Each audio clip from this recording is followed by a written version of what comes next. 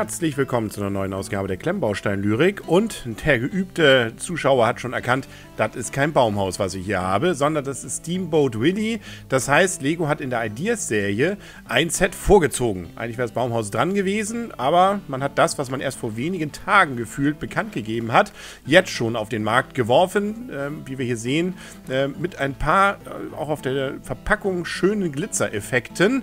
Dieses Vorziehen könnte auch damit zusammenhängen, dass es 1928 28 und nicht 29 war, als Steamboat Willie als Animationsfilm erschien. Es war der erste Mickey Mouse Film und es war der erste Animationsfilm von Disney wohl, der mit synchronem Sound, noch keiner Sprache, aber doch immerhin Effekten, Musik, dieses berühmte Pfeifen verbunden war. Und dass selbst Jüngere diesen Film irgendwie zumindest in Ausschnitten kennen, liegt daran, dass aktuell äh, Disney, glaube ich, fast allen seinen Film in den Vorspann eine ganz kurze Szene davon reinnimmt, nämlich Mickey Mouse, wie er pfeifend auf besagtem Raddampfer steht äh, und es sich gut gehen lässt.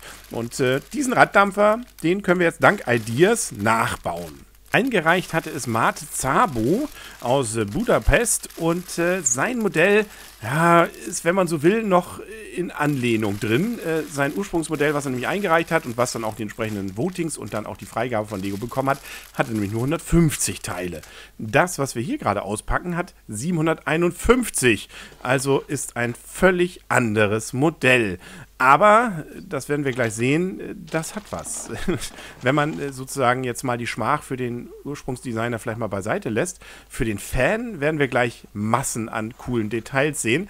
Ein Detail ist allerdings auch bei diesem Set der Preis. Und der ist knapp 90 Euro, 12 Cent pro Stein. Das ist trotz äh, Lizenz und äh, trotz Ideas richtiger Hammer, weil, und das ist vielleicht auch strategisch gerade schlecht gewesen für Lego, sie haben ja gerade die Flintstones rausgebracht vor wenigen Tagen. Die haben genauso viele Teile, kosten aber 30 Euro weniger. Darüber wird zu reden sein. Äh, es ist übrigens ein Rezensionsexemplar, was wir hier sehen. Das Set erscheint zwar erst am 1. April, ich habe es aber dankenswerterweise, und das ist bisher noch nicht so oft vorgekommen, äh, vorab von Lego mal bekommen, um hier diese Rezension zu machen. Danke dafür, aber das bedeutet auch, es kann sein, dass ich dieses Set verlose unter allen Kommentatoren, wenn genügend genügend sagen, ich soll es denn tun. Mehr dazu am Ende des Videos. So, jetzt gucken wir uns das Modell aber mal an.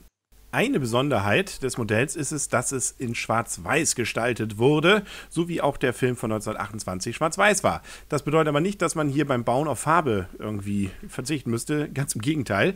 Das Innere ist sowas von bunt, wie wir hier sehen. Und äh, wir werden nachher mal kontrollieren, hm, ob denn dieses Bunte dann auch wirklich nicht mehr zu sehen ist. Zum Bauen ist es natürlich dadurch ein bisschen einfacher. Man hat nicht grau auf grau auf weiß auf schwarz, sondern kann ein bisschen genauer äh, dann auch sehen, wo was hinkommt. Hier sehen wir schon mal, dass das Ganze auch noch ein interessantes Eigenleben hat. Äh, nämlich ein Mechanismus, der es ermöglicht, nicht nur, dass dann am Rand nachher, während wir hier sehen, dass zum Beispiel Bug und Heck so rangeklickt werden, das fand ich ganz interessant, ähm, dass dort nämlich die Schornsteine hoch und runter gehen und auch der Raddampfer, die Räder sich dann drehen. Damit dann, wie im Original, äh, also sprich im Film, die Schornsteine hoch und runter gehen können, ist hier der Fuß dieser Schornsteine ganz interessanterweise dann auf diese Zunge draufgelegt, die da so hin und her wippt.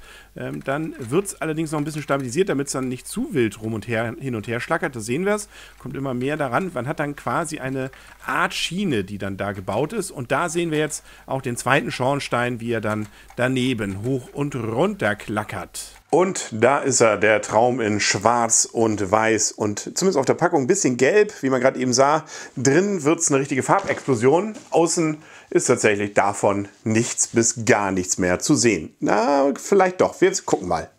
Wir starten mit den Minifiguren und hier haben wir Mickey Mouse im klassischen Schwarz-Weiß, wie das ganze Set. Ja, ich hatte es ja erwähnt, natürlich an Steamboat Willie nicht nur angelehnt, sondern es ist Steamboat Willie, um was es hier geht. Und wenn man den sich mal YouTube nochmal anguckt, den Film, dann sieht man da Mickey Mouse auch tatsächlich mit diesem hohen Hut, der da drauf ist. Und eben in Schwarz-Weiß. Und äh, das äh, sieht doch cool aus, die großen Ohren. Ja, wir hatten Mickey Mouse auch schon vorher, aber schwarz-weiß mit diesem Silberlook hier unten auch. Ähm, ist zwar natürlich, dass der Torso ist schwarz, ja, aber mir gefällt es. Also das Ding kann man abnehmen hier. Notfalls könnte man das, glaube ich, auch ja, einer Friends-Figur auf den Kopf stecken. Muss man aber natürlich nicht tun. Hier im Vergleich mal die bunte Figur, wie sie äh, vor einigen Jahren verkauft wurde. Und ja, man sieht auch der Stil, den haben sie tatsächlich angepasst. Also sie haben nicht einfach nur den äh, Kopf von damals äh, sozusagen nochmal äh, in Schwarz-Weiß gedruckt, sondern tatsächlich auch diesen etwas anderen Mickey-Maus-Stil, wie man ja dann auch in dem Zeichentrickfilm sieht, hier dann nachempfunden. Also das Runde ist ein bisschen nicht ganz so rund, äh, wie man hier sieht. Also auch das cool, obwohl der Rest, den erkennt man natürlich wieder. Dann haben wir hier Minimaus mit Gitarre, die gibt es auch im Film zu sehen. Und äh, dann haben wir hier, wie wir sehen, Turkey in the Straw. Die Noten sind dabei, inklusive hier auch aufgedruckt, ja, diese komische ja, Ziege oder Kuh oder was das da ist, die sie auf dem Boot haben. Die haben wir hier zwar nicht, aber sie kommt da immerhin drin vor. Und das sind die Noten von dem Lied, wenn ich das richtig verstehe, äh, dass auch Mickey Mouse ja in diesen berühmten Szenen dann pfeift. Also es kommt in dem Stück vor. Und äh, ja, Minnie Maus ansonsten klassisch schwarz-weiß. Sie hatten ähnlich allerdings etwas runderen Kopf, fast schon klassischer, den Mickey Maus Kopf, als es bei Mickey selber der Fall ist. Auch sie hat hier so einen eigenen Hut, den man draufsetzen kann. Äh, auch der, den hat sie im Film selber auf. Und wir sehen auch hier zum Beispiel selbst ihr Röckchen ist hier in schwarz-weiß dann nochmal oder silbern nachgedruckt und die Gitarre auch. Also beide Figuren finde ich für den Fan definitiv eine Wucht. Auch hier nochmal der Vergleich mit der Minimaus, wie sie denn äh, vor einigen Jahren erschien. Wir sehen auch hier ihr Röckchen und wir sehen auch hier, dass sich das Gesicht nochmal ein bisschen verändert hat. Also von der Schwarz-Weiß-Version eher so, naja, ist eben noch dabei, macht aber für mich gar nicht so viel Sinn, ist dieser Aufsteller, der die Zahl zwar 1928 unten drauf hat, auch das bedruckt, also hier sind ja keine Aufkleber mit dabei, dafür dann eben noch, ja, das Mickey-Maus-Zeichen in sehr abstrakt dann und wie man hier sieht, man kann es dann hinstellen. Äh, da wär, hätte ich fast noch so ein UCS-Platte ein bisschen interessanter gefunden, wo noch so ein bisschen Text dabei gewesen wäre mit Erzählung dazu, sodass es dann wirklich so ein Ausstellungsstück ist, das man hinstellen kann. Aber na gut, ähm, das schadet ja auch nicht. Das kann man schon mal dahinstellen. Das Highlight ist aber natürlich das Boot, Steamboat Willy. Und äh, ja, erst recht, wenn man es jetzt vergleicht mit dem, was der Ursprungsautor mit 150 Teilen gebaut hat und das, was ich jetzt hier Schweres in Händen halte, das hat nichts miteinander so richtig mehr viel zu tun. Das eine war so ein kleines Polybag, naja, ein bisschen mehr als ein Polybag-Modell. Und dies hier ist ein richtig handfester Raddampfer mit allen, fast allen Details, die im Film auch vorkommen. Also das, was ich noch bemängelt hatte, was sie alles wegrationalisiert hatten bei den Flintstones, hier haben haben sie, sie richtig aus dem Vollen geschöpft. Und da werden wir, wenn man den Film gesehen hat, so viel wiederentdecken. Das ist schon boah, beeindruckend. Auch hier natürlich, hier die Zeichen alle bedruckt. Auch schön so mit so einem gleichen spiegelnden Silberlook. Und dann haben wir hier diese drei Pfeifen in klein, mittel, groß da oben. Kommen im Film vor? Ja, im Film bewegen die sich, aber das tun sie hier natürlich nicht. Dann haben wir hier diese großen Auspüffe, hier, die werden wir gleich sehen, auch unten dann bewegt werden können. Da haben wir, sehen wir schon, das ist natürlich auch neu, das war im Ursprungsmodell auch nicht drin, dass sich hier die Räder vom Rad selber drehen und dazu dann eben auch noch hier die beiden Schornsteine hoch und runter gehen, was sie im Film dann auch tun. Mickey steht hier, pfeift ihr Lied und die Dinger gehen hoch und runter und die pfeifen das Ganze mit. Also ähm, ja, und die sind auch so lang da. Also auch das passt hervorragend. Gucken wir mal vorne, dann ist da auch durchaus die, diese Flagge. Auch die gibt es im Original. Äh, dieses kleine Häuschen meine ich da auch entdeckt zu haben. Dann dieser Vogel, der hier ist, das, der sieht hier ein bisschen zu niedlich aus. Also der ist im Film nicht ganz so niedlich, aber er ist immerhin dabei. Also ähm, es fehlt fast nichts. Es fehlt vielleicht noch die Kuh äh, oder die, was auch immer das da ist äh, und dieser Oberboss. Aber ansonsten, ja, der Schnabel hätte ein bisschen größer sein können vielleicht. Aber Herrgott, ähm, ist immerhin dabei und man kann die Geschichte damit wirklich schön darstellen. Ähm, dann haben wir hier das Rad, wie wir hier sehen. Ja, auf beiden Seiten dann auch. Und dann hinten, den entdecken wir auch wieder eine Menge. Zum Beispiel hier äh, die Kartoffelkiste, wo äh, nachher Mickey Maus dann ja im Schiff dann, äh, glaube ich, Kartoffeln ja schälen muss oder wie war das? Hier so ein bisschen was von der Kombüse sieht man auch, die Kisten da. Dann haben wir auch wirklich den Kran, der dort eine Rolle spielt unter anderem ja auch für die Kuh und auch für andere Sachen. Auch, ich glaube auch Minimaus wird darüber geholt, der auch sogar funktioniert. Also wir können, naja, also wir können dran drehen und dann fährt das Teil hoch und runter. Wir können das hier auch so ein bisschen verschieben, je nachdem, wie wir das dann wollen. Wir haben einmal, wir haben hier einen Hammer. Tor wird sich freuen. Wir haben hier, das sind eigentlich solche Garagentore, nur andersrum die sie hier angebracht haben, um hier diese Eingänge zu simulieren in schwarz-weiß. Auf der anderen Seite, ja gut, da haben wir das gleiche nochmal. Dann haben wir hier oben die Kabine, die können wir auch aufmachen. Es gibt so eine Sollbruchstelle hier mit der Glocke hier hinten und ja, es ist zwar funktionslos, aber das große Steuerrad, das wir hier haben, das ist das aus der berühmten Szene. Da steht Mickey Mouse dann da, dreht an dem Ding und pfeift ihr Liedchen und man sieht im Hintergrund, auch im Film, tatsächlich den Rettungsreifen, so wie er hier dort auch hängt. Sie geht dann nachher ja hier runter oder er, Mickey Mouse, geht dann hier runter, wird ja runtergestoßen eigentlich vom Boss, der da hochkommt und äh, ja, gut, die Tür ist dann zu, das kann man nicht nachspielen, aber es ist dann ja auch ein Modell, das man vor allem zum Hinstellen hat und äh, boah, ist, ist eine Wucht. Wir setzen mal Mickey rein. Da ist er. Okay, wenn man irgendwas bemängeln möchte, dann könnte man jetzt bemängeln, dass er mit der Schnauze ein bisschen eng am Steuerrad ist. Und man sieht, da ist auch nur eine Reihe Noppen. Wir kriegen ihn also höchstens im Sitzen dann ein bisschen weiter zurück. Also ja, gut. Aber das ist nur Leiden auf extrem hohem Niveau. Ansonsten hier so von der Entfernung, man möchte am liebsten mitpfeifen. Also das passt schon. Dann zeigen wir das jetzt nochmal in Bewegung. Und hier sieht man tatsächlich, wenn ich fahre, dann geht das ja mit ein bisschen Ruckeln zwar, aber es funktioniert. Also den Betrieb davon habe ich ja vorhin am Anfang schon gezeigt. Und das, äh, die sind, liegen ja so eigentlich nur da drin ähm, auf dieser Lasche, die das dann hoch und runter drückt. Und äh, deswegen wackelt das auch so ein bisschen, aber das tut es ja im Film auch. Also wenn man so will, ist es sogar relativ originalgetreu, dass das eben nicht so völlig gerade hin und her geht. Und dazu dann auch das Rad vom Raddampfer, da können wir es nochmal von beiden Seiten sehen. Und ich kann auch jetzt nochmal demonstrieren, wie ich jetzt also hier drehe und tatsächlich, was jetzt wenig überrascht, glaube ich, den Haken hoch und runter damit fahren kann. Wenn ich will, kann ich den Eimer zum Beispiel benutzen. Und ähm, hier die Kartoffelkiste, die hat sogar extra noch so einen Haken, den ich hier anbringen kann. Und dann kann ich den damit an Bord hieven, sogar rumdrehen und dann hier wieder absetzen. Passt!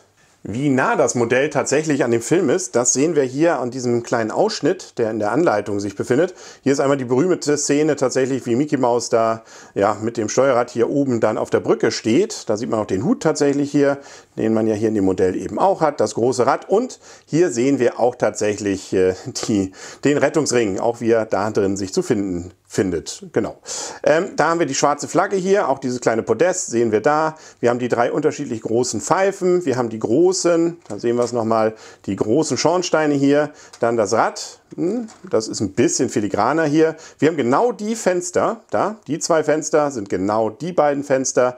Und wir haben hier hinten die Kisten, so wie da. Und wir haben hier hinten, wie wir auch sehen, diesen Kran, der sich dort befindet. Auch der ist genau so da mehr oder weniger dargestellt, wie er hier sich befindet. Also da hat man wirklich sehr exakt, wie ich finde, am Original dann gearbeitet. Was fehlt, ist das, was man hier drin sieht, also der, das ganze Innere. Ähm, das hat man jetzt nicht mehr gebaut beziehungsweise findet man nicht da drin, weil da die Mechanik sich befindet, also die Küche zum Beispiel und ähm, zum Beispiel dieser Stab hier, an dem man ziehen kann, die Treppe in der Kajüte oben, das ist da nicht mehr. Aber diese Glocke, auch wenn sie hier oben hängt, ähm, die ist hier hinten auf der anderen Seite dann angebracht, aber sie ist eben da. Ich habe das ja vorhin auch gezeigt. Ja, wow, was das Schiff auch noch hat, ist hinten ein kleines Ruderblatt, das sich allerdings nur hoch und runter bewegen lässt. Wie wir hier sehen, nicht seitlich. Na gut, es ist ja auch ein Modell eben zum Hinstellen. Und von unten, da sehen wir nochmal hier die Zahnräder, wie man sie vorhin im Aufbau auch sehen konnte, wie die ineinander greifen und auch diese Lasche, die hoch und runter geht, um dann die Schornsteine hoch und runter zu bewegen. Und tatsächlich, hier sieht man dann das Bunte, da muss man aber schon quasi drunter krauchen, beziehungsweise es umdrehen. Ähm, also wenn es normal steht, sieht man davon nichts und auch sonst, wenn man mal guckt, kann man tatsächlich noch was vom Bunten sehen. Vielleicht noch hier ein ganz bisschen an der Achse, da ist ein bisschen was Gelbes. Da theoretisch hätte man also da eine graue Stange auch nehmen können. Und ähm, ja, wenn man richtig fies sein möchte, dann sieht man es noch von oben reingeguckt. Da muss man aber wirklich suchen. Da sieht man was Gelbes. Sobald ich aber schon weggehe und nur von der Seite gucke und selbst wenn ich nur so mal ein bisschen von oben gucke, dann sieht man das fast nicht mehr. Also eigentlich ist es wirklich, ähm, ja, wenn man nicht wirklich auf die Suche geht, ist es trotzdem ein richtig schöner Traum in Schwarz-Weiß. Dann gucken wir noch mal kurz in die Anleitung. Äh, ein bisschen bunt, aber wir werden gleich sehen, ähm, es wird noch ein bisschen bunter. Das hatten wir ja auch schon am Anfang des Films gesehen. Ja, ähm, hier haben wir das, was ich vorhin schon gezeigt hatte mit den Originalbildern und äh, ein bisschen Informationen über den Film. Hier zwar auf Englisch, wer möchte, kann sich das auf Deutsch dann auch im Netz wieder runterladen. Da sieht man auch noch mal die Historie, ein paar alte Grafiken oder beziehungsweise Zeichnungen aus der damaligen Zeit. Wir haben ein paar Infos über den Original Ideas Designer, der allerdings, ja, muss man eben zugeben, äh, nicht mehr viel von seinem Modell da jetzt drin wiederfindet. Aber er hat, wenn man so will, die Idee geliefert. Ja, das ist dann der eigentliche Autor oder Designer eigentlich von dem Modell, so wie wir es jetzt hier haben. Auch mit dem ein paar Infos und dann darf gebaut werden. Wie ich ja am Anfang zeigte, anfangs sehr bunt und dann wird es immer schwarz-weißer, bis das fertige Modell dann tatsächlich am Ende vor einen steht. So, Bauzeit ist ungefähr zwei Stunden, aber abwechslungsreich. Also ja, und auch nicht so, dass man jetzt denkt, oh, ich kann nachher schwarz-weiß nicht mehr sehen. Da es ja sehr bunt anfängt und dann wirklich ja immer unterschiedliche Sachen gebaut werden, außer vielleicht hier diese Räder. Das zieht sich ein klein wenig, aber das sind so zehn Minuten, die etwas äh, sich wiederholen sind. Ansonsten baut sich es wirklich sehr flüssig und sehr schön. Hier auf der Packung sehen wir übrigens auch noch mal ein paar berühmte Szenen nachgestellt. Ähm, einmal, ja gut, das ist dann das Schiff als solches. Man sieht hier, dass man die Figuren auch auf die Zeichen setzen kann. Das will ich aber gar nicht zeigen. Einmal hier sieht man zum Beispiel, ja gut, wie Mickey Mouse die Minnie Maus dann ans, äh, aufs Boot raufholt. Das sieht man im Film nachher auch und äh, ja, hier mit dem Vogel da unterhalten wird. Oder auch, wie Minnie Maus am Land dann längs läuft und Mickey Maus sie da versucht dann äh, zu sich zu lotsen. Auch die Szene haben wir hier zum Beispiel. Ähm, ja, ist jetzt nicht wie aus dem Film, aber nochmal ganz interessant, äh, dass die das hier auch nochmal nachgestellt haben. Ich empfehle wirklich, das Original bei YouTube sich nochmal anzugucken. Ich finde, das Set ist eine absolute Wucht. Also das ist genau das, was ich mir vorstelle davon, wenn man so eine Hommage an so einen klassischen Zeichentrickfilm machen will, dass man das Schwarz-Weiße dann macht, dass man so viele Details, Anspielungen hat, keine Aufkleber, äh, dass sogar noch eine Mechanik dahinter ist, die hier äh, bestimmte Sachen aus dem Film dann auch darstellt, dass man Infos in dem Heftchen dazu bekommt, die Minifiguren angepasst sind und nicht einfach nur 0 auf 15 da irgendwie umgespritzt sind. Also ja, es ist, wenn man so will, was das Thema angeht, das perfekte Set. Also äh, das Einzige ist vielleicht, dass es ein bisschen, wie gesagt, leid tut für den Ursprungsdesigner, äh, dass von seinem Set dann nicht mehr, nicht mehr so viel übrig ist. Da kann man dann sagen, das ist eigentlich nicht mehr das Ideaset so wirklich. Er hat die Anregung gegeben, aber eigentlich ist das Set dann ja vom Lego-Designer selber erstellt worden. Ähm, aber für mich als Kunden, der genau sowas gerne haben möchte, als äh, Mickey Mouse Fan, beziehungsweise Fan ist übertrieben, aber als jemand, der mit diesen Filmen auch nicht aus den 30ern jetzt aufgewachsen ist, aber ähm, der doch relativ viel mit seiner Jugend auch mit Mickey Mouse verbindet und diesen Schwarz-Weißen tatsächlich auch früher öfter gesehen hat, ähm, an verschiedenen Möglichkeiten. Also für den ist das, glaube ich, hier absolut klasse und ist das Modell tat, wie gesagt, es ist richtig gut. Worüber zu unterhalten ist, ist der Preis. Und das ist tatsächlich etwas, ja, da muss man erstmal schlucken, weil es sind ziemlich genau die gleichen Teile wie bei den Flintstones, äh, nur es sind statt 59 oder statt 60 Euro 90 Euro. Also 30 Euro mehr. Da kann man jetzt natürlich sagen, ja, es sind eine ganze Reihe Sonderteile, die Minifiguren und und und. Ja gut, die Minifiguren sind natürlich auch bei den Flintstones einmalig. Ähm, es ist ein bisschen, ja, einige Sachen, gerade hier so die Sachen, die eben nicht äh, wie hier eben mit Aufklebern sind, sondern bedruckt. Ähm, das ist schon äh, als Recht, was auch eine Lizenz ist, ist natürlich, obwohl es Flintstones auch. Also ja, es fällt schwer, so ein bisschen äh, genau zu argumentieren, warum das Ganze jetzt so viel mehr kosten sollte. Ähm, andererseits habe ich bei den Flintstones ja bemängelt, dass sie so viel weggelassen haben und ich gerne 20 Euro mehr ausgegeben hätte, um das perfekte Set in die Richtung zu haben. Hier haben wir es jetzt. Und äh, ja, da will ich dann eigentlich nicht darüber so meckern. Man kann mir natürlich jetzt entgegenhalten. Und das ist das Problem an diesem Review dann vielleicht auch. Ich habe es als Rezensionsexemplar bekommen. Also ich habe das Geld nicht ausgegeben. Ich kann sagen, ich hätte die 80, 90 Euro ausgegeben. Vielleicht muss ich es ja auch demnächst, äh, weil das hier ist natürlich wieder ein Set, da es ein Rezensionsexemplar ist, das ich zur Wahl stelle. Darf ich es behalten, so wie es ist? Oder ja, müsste ich dann es verlosen? Eine Woche gibt es Zeit, sich hier dann entsprechend zu äußern. Und dann würde ich dann auch, äh, ja, natürlich allerdings, weil ich, man merkt ja, ich bin von diesem Set wirklich begeistert, nicht dieses hier verschicken, sondern eins, das es dann zu kaufen gibt. Das heißt, der Preis würde dann auch erst ab dem 1. April, wo das Set dann ja offiziell erhältlich ist, verschickt werden. Ich würde es dann einfach bestellen. Wenn es denn so ist. Es würde dann unter allen verlost werden, wenn sich die Mehrheit für Verlosen entscheidet, dass äh, die ähm, unter diesem Video hier kommentiert haben bis dahin. Und ähm, ja, bin ich mal gespannt, ähm, ob man mir das lässt äh, und äh, was so die anderen Meinungen sind. Ja, das ist natürlich immer das Problem, wenn man jetzt also tatsächlich ein Set äh, vor dem Release hat so cool das auch ist und äh, das irgendwie, ja, was hatte auch für mich, das mal so zu haben, das war ja noch nicht so oft bei mir, umso, ja, blöder ist es, dass man eben keine anderen Meinungen hat. Das ist gut natürlich, man kann wirklich seine eigene Meinung sagen, aber ich will auch nicht ausschließen, dass ich wieder was übersehen habe. Dahergehend, ähm, ja, bin ich sehr auf die Kommentare jetzt gespannt. Ich finde es richtig cool, ich finde es sehr, sehr teuer und äh, ja, was denkt ihr dazu? Ne? Das war's. Da fallen mir hier schon die Minifiguren aus der Hand, beziehungsweise vom Tisch. Wir hören und sehen uns dann hoffentlich bald wieder und äh, dann auch fröhliches Abstimmen und Kommentieren. Ich krieg's nicht gepfiffen, aber man weiß ja, was gemeint ist. Tschüss.